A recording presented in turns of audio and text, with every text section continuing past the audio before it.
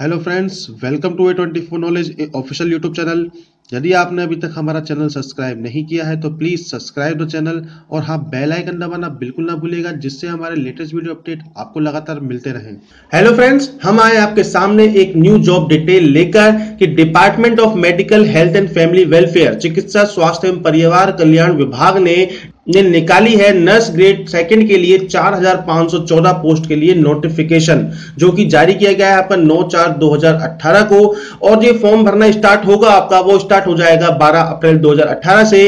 Last date जो इसकी रहेगी, वो रहेगी 12 मई 2018 तो जानते हैं क्या है इस नोटिफिकेशन में, क्या है इसकी फुल डिटेल तो आइए शुरू करते हैं। तो फ्रेंड्स राजस्थान सरकार निदेशालय चिकित्सा एवं स्वास्थ्य सेवाएँ राजस्थान की ऑफिशियल नोटिफिकेशन है ये, जिसमें निकाली गई है नर्स श्रेणी द्वितीय के गैर अनुसूचित क्षेत्र और अनुसूचित क्षेत्र के लिए विज्ञप्ति।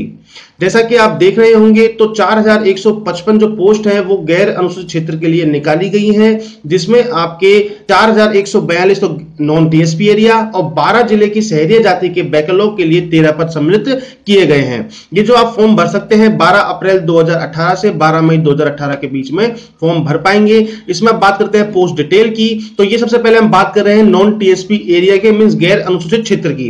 तो इसमें जो वर्ग वाइज उन्होंने डिवाइड किया है पहले है जनरल, जिसमें आपके दो पद हैं।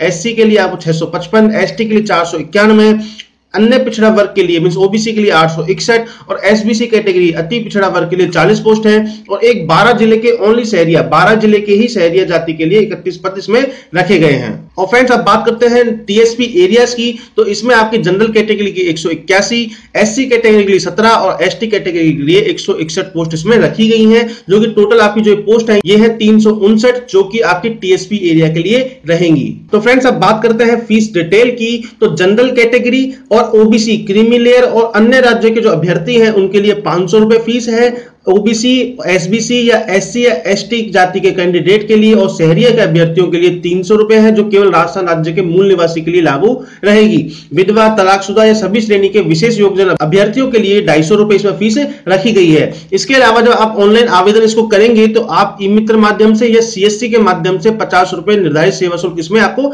दे होगा। आवेदन शुल्क जो है आपको किसी भी परिस्थिति में लौटाया नहीं जाएगा। तो फ्रेंड्स, अब बात करते हैं पे मैट्रिक्स की तो आपका जो पदनाम है ये मतलब पोस्ट नेम है, वो है नर्स श्रेणी द्वितीय का, जिसमें आपकी पे मैट्रिक्स रहेगी लेवल 11 और आपको प्रोबेशन काल में जो नियत प्राथमिक है, वो छब्बीस रुपए रहेगा। और जो आपका प्रोबेशन काल है, वो दो साल तक चलेगा, जिसके बाद सफलतापूर्ण जब आप इसको पार कर लेंगे तो आपका जो नियमित पे मैट्रिक्स है, आपको वो दे हो जाएगा। तो फ्रेंड्स अब बात कर लेते हैं एलिजिबिलिटी क्राइटेरिया की। तो इसकी जो पोस्ट टाइम जैसा मैंने आपको पहले बताया नर्स ग्रेड सेकंड है, जिसमें आपकी जो शैक्षणिक योग्यता है, वो आपकी बारहवीं पास या इसके समकक्ष आपकी होनी चाहिए। इसके साथ साथ आपके पास व्यवसायिक योग्यता जीएनएम कोर्स के सर्टिफिकेट भी आपके पास होना चाहिए। और इंपॉर्टेंट चीज़ है रजिस्ट्रेशन होना चाहिए आपका आर में, राजस्थान नर्सिंग काउंसिल जयपुर में आपका रजिस्ट्रेशन होना चाहिए। यदि आपने अभी तक रजिस्ट्रेशन नहीं कराया है तो आप अभी करा लीजिए कि बारह पाँच दो तक आपका जो रजिस्ट्रेशन है, वो आपका हो जाना चाहिए।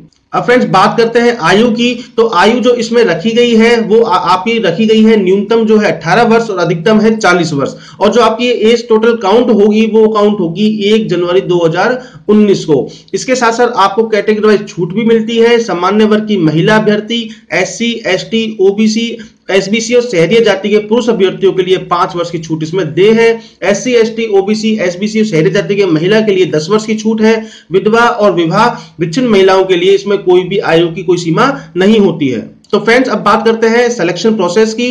तो आपके पास जो बारहवीं की मार्कशीट है या उसके समकक्ष अगर आपकी मार्कशीट है और आपके पास जो जीएनएम का प्रशिक्षण कोर्स का सर्टिफिकेट है, उसके प्राप्तांकों के प्रतिशत के औसत प्रतिशत का पिचासी प्रतिशत वेंटेज लिया जाएगा। मीन्स जैसे आप नीचे देख रहे होंगे, एक सूत्र लिख रहा है फॉर्मूला कि बारहवीं पास और की percentage plus professional marks percentage divided by two multiply by 85 divided by 100 means 85 percentage इसकी निकाली जाएँगी और उसके बाद इसकी मेरिट लिस्ट निकाली जाएगी।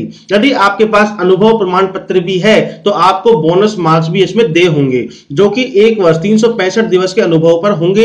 एक साल के लिए पाँच परसेंट, दो वर्ष के अनुभव पर दस परसेंट और तीन वर्ष के लिए आपको पंद्रह परसेंट इसमें दे होंगे। एक वर्ष से कम अवधि के लिए आपको कोई भी बोनस अंक प्राप्त नहीं होगा।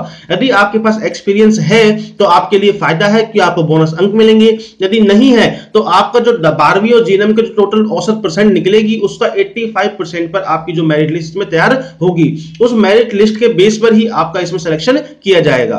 फ्रेंड्स ये आपका अनुभव प्रमाण पत्र का एक परफॉर्मा है, इसको आपको भरना है। उसके बाद, यदि आपने हस्ताक्षर और मोहर अगर आपने लगवानी है तो आपको इसमें दे रखा है, जितने नाम उनमें से किसी भी एक के पास जाकर आप ये हस्ताक्षर और मोहर की जो है लगवा सकते हैं। उसके बाद आपका जो ये एक्सपीरियंस सर्टिफिकेट है, वो आपका कंप्लीट हो जाएगा। तो फ्रेंड्स आशा करता हूँ आपको हमारी ये जानकारी अच्छी लगी होगी तो प्लीज़ लाइक कीजिए सब्सक्राइब कीजिए और शेयर भी कर दीजिए। हमारे ऐसे ही और वीडियो देखने के लिए आप जा सकते हैं W W W dot YouTube dot com slash A twenty four knowledge पे and last thanks for watching